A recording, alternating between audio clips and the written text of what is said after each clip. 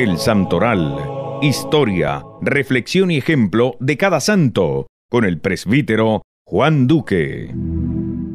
Hoy, 14 de octubre, recordamos a San Calisto Papa.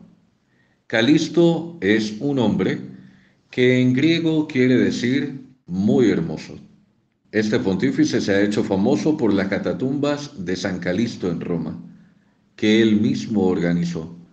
Dicen que era un esclavo, que en tiempo estuvo condenado a trabajos forzados en las minas. Recobrada la libertad, se dedicó a estudiar la religión de Cristo y a enseñar a sus vecinos. El Papa San Seferino lo nombró como su hombre de confianza en el año 199 y le encomendó la dirección de las catatumbas, donde sepultaban a los cristianos. Calisto ensanchó notablemente estas catatumbas y las organizó muy bien.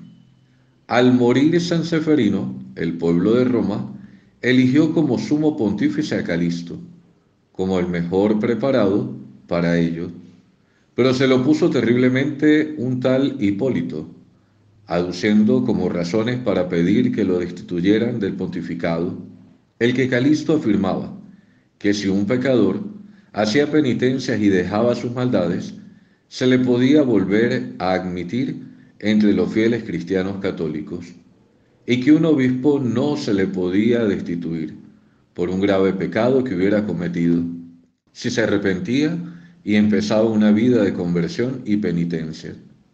Calisto sabía ser comprensivo.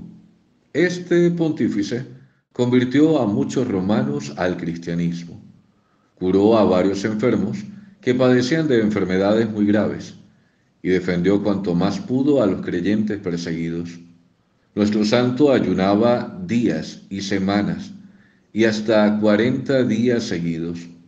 Cuando los perseguidores lo llevaron preso por proclamar su fe en Jesucristo, lo echaron a un oscuro calabozo, esperando que se desesperara por hambre, pero después de unos días lo encontraron muy tranquilo y le preguntaron cómo logró mantenerse sereno, sin comer ni beber.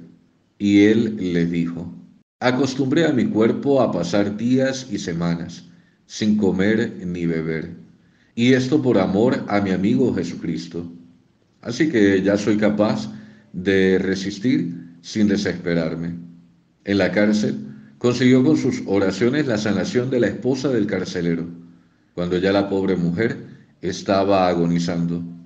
En acción de gracias, el carcelero y toda su familia se hicieron bautizar por él.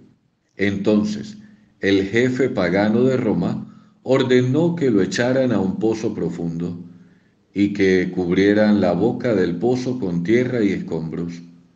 Todavía en Roma se señalan a los turistas el pozo de San Calisto, desde donde su alma voló al cielo, a recibir el premio prometido por Cristo Jesús, a los que lo proclaman en la tierra.